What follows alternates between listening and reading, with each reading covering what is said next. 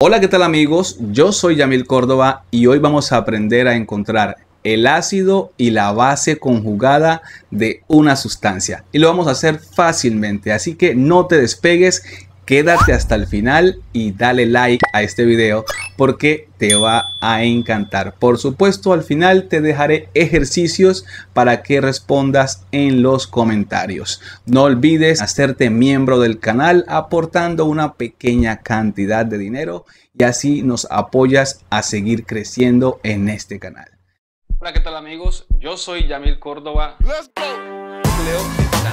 Para saber cuántos electrones nos muestran bienvenido. La química de Yamil. La primera pregunta, ¿cuál es la base conjugada del HClO4? Ácido perclórico. Entonces, para conseguir la base conjugada, simplemente hay que retirarle un protón a la sustancia. En este caso, un protón será un hidrógeno. Entonces vamos a decir que es HClO4 menos H más queda convertido en ClO4. Como le quitamos un protón, es decir, una carga positiva, esto nos va a quedar negativo y ahí tenemos ya la base conjugada. La base conjugada de HClO4 es ClO4 menos.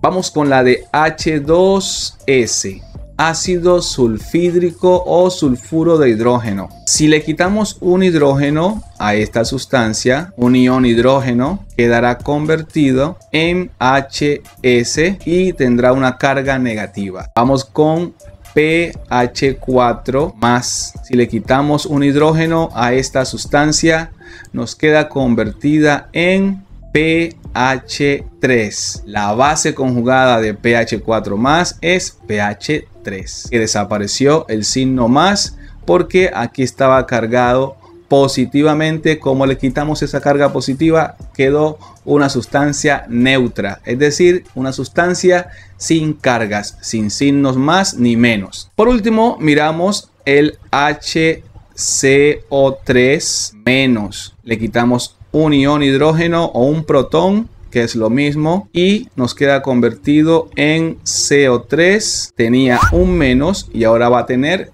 dos menos. Esto mismo lo podemos representar con un 2 y un menos. Así 2 menos.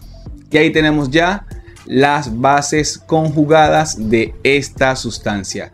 Ahora vamos con los ácidos conjugados y entonces nos dicen cuál es el ácido conjugado de CN menos CN menos y para esto simplemente para conseguir el ácido conjugado de una sustancia simplemente le sumamos un protón más un ion hidrógeno y esto queda convertido en HCN.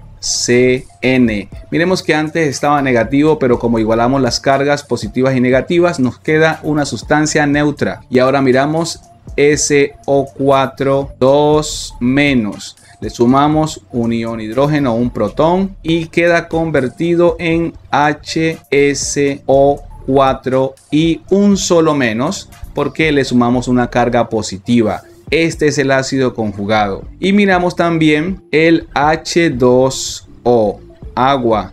Le sumamos un ion hidrógeno y queda convertida en H3O ese será el ácido conjugado del agua, pero le falta el signo más. Y también por último tenemos HCO3 menos, si le sumamos un ion hidrógeno, hidrógeno queda convertido en H2 porque ya tenía un hidrógeno CO3 como tenía un ion negativo también, una carga negativa, ya se igualan las cargas y nos queda una sustancia neutra. Y así de fácil se puede conseguir la base conjugada de una sustancia y también el ácido conjugado. Recuerda que yo soy Yamil Córdoba y esto es la química de Yamil. Ahora te dejo un ejercicio para que lo respondas en los comentarios. Nos vemos en la próxima. No olvides suscribirte y darle like a este video.